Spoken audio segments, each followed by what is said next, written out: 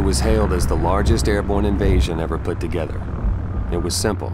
Get some trucks up a highway and be home by Christmas. It's never that easy.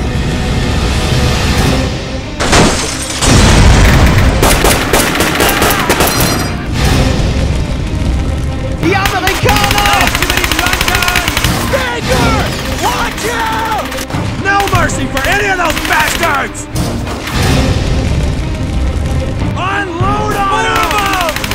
that gun down!